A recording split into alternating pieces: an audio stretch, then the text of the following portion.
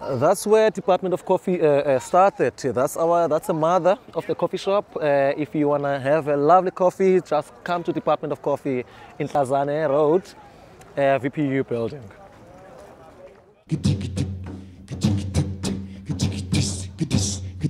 When I talk about the coffee culture, I mean people in the township drinks coffee in the morning and when they feel cold and get a cup at home and, and move forward. You know, when we talk about the coffee culture, we talk about engaging around the coffee shop, sitting in a coffee shop, being around in the aroma, you know, being around in a, in a, in a roasting place, you know. And we need people who will say when they buy a cup of coffee, where do you get your beans? You know, who roasts your coffee? That's a coffee culture. Can I get espresso as a vavavoom or a kick-up gear?